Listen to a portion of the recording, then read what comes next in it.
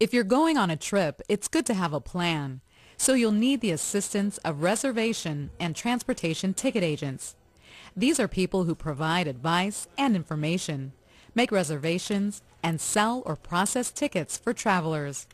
Some transportation agents work directly with customers at airports, as well as at train or bus stations.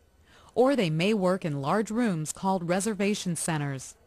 These places can be crowded and noisy, and often there is pressure to handle customers quickly.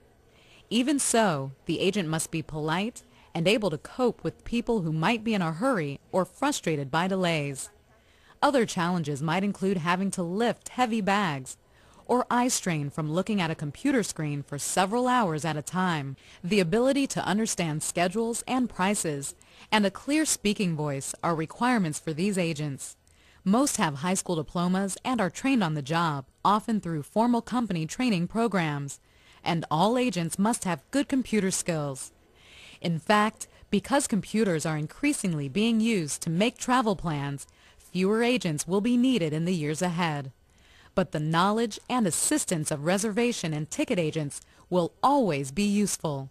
Without them, we wouldn't be a nation on the go.